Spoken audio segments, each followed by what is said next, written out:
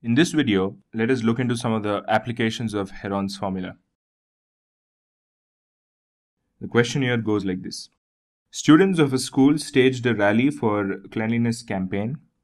They walked through the lanes in two groups. One group walked through the lanes AB, BC and CA.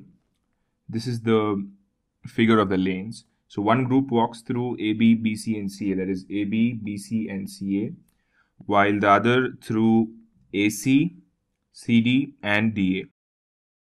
So they then cleaned the area enclosed within their lanes.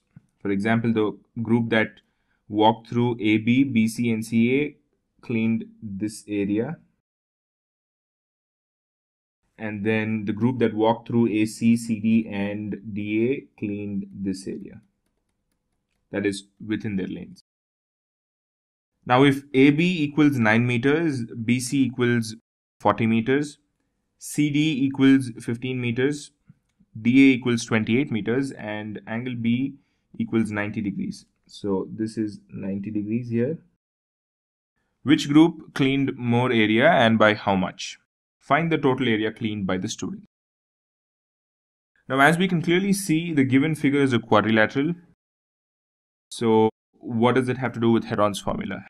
Heron's formula deals with triangles and their areas, finding the areas of triangles without having to find the height of the triangle. So what are we doing here? Okay, what we are doing here is, as you can clearly see, the quadrilateral is split into two triangles. And the details of the sides of the quadrilaterals are given, but then we still cannot find the area of even one triangle using Heron's formula because we need the length of AC. So then we also have a right angled triangle here. So the best thing about a right angled triangle is you've got the height of that. So the 9 meter is the height of this right angled triangle if you consider 40 meter as the base or if you consider 9 meter as the base then 40 meter is the height. Any way you wish. So now what we first have to do is find the area of the triangle ABC because we've got base and height and all we need to do is use half into base into height formula. So find the area of the triangle ABC. So once we find the area of the triangle ABC, we've got area and then we've got two sides here. So using area and two sides, we can easily find the other side, which is AC. So by this, we can solve the area of the other triangle and then compare the areas of the two triangles and then find out which group cleaned more. So this is how it's done. So now let's solve the problem. So now we've got in triangle ABC, we have angle B equals 90 degrees. So therefore, since it's a right angle using the Pythagoras theorem, we've got AC square, which is the hypotenuse here. AC square equals AB square plus BC square. So now we we have AB as 9 so it's 9 square plus BC is 40 square. We can either find this length of AC by the way that I told you earlier, or we can also use this simple method. So AC square is equal to 9 square plus 40 square. So AC is equal to root of 9 square is 81 and 40 square is 1600. So AC equals root of 1681 which is 41. So AC equals 41 meters. Now let's compute the area of triangle ABC.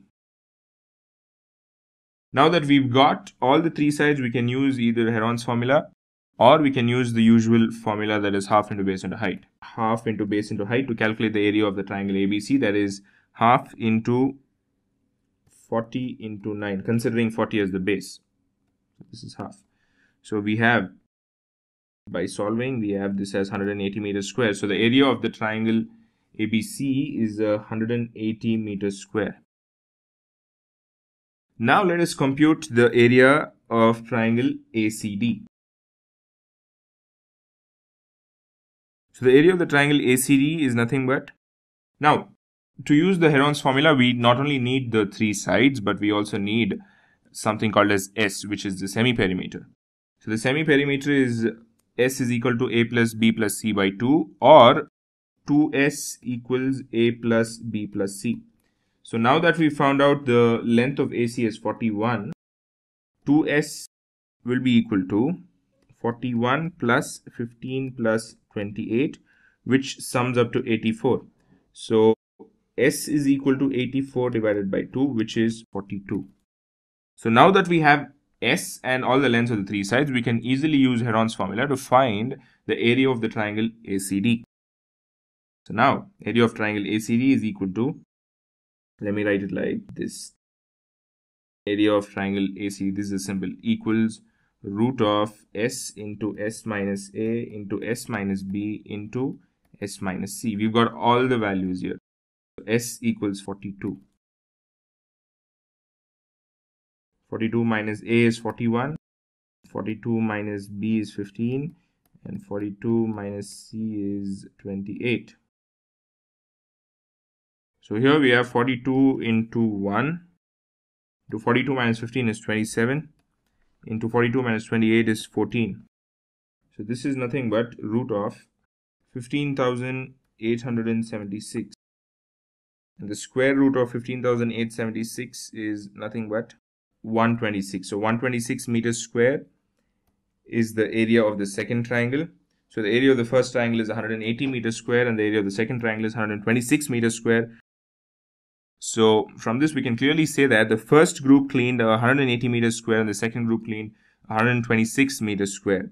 So which shows that the first group cleaned more area and by how much is also another question that they've asked that is nothing but what is the difference between these? So uh, 180 minus 126 gives us 54 so the first group cleaned 54 meters square more area than the second group and the total area cleaned is nothing but 180 plus 126 which is 306 meters square.